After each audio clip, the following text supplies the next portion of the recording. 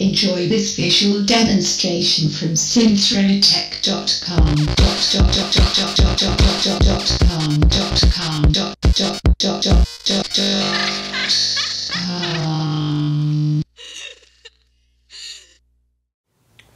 Hey, here, Steve again with uh, Synthrotek, and I'm going to be showing you again some simple patches. I've got the Circuit Abbey gate, which is essentially a clock divider, and that's going to be going into three outputs from that in integer mode are coming into the NAND here, the 3CV inputs. So we get an idea, just kind of making some, some random weird beats with this.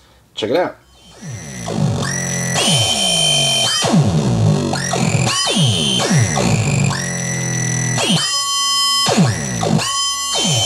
Let me turn up the clock here.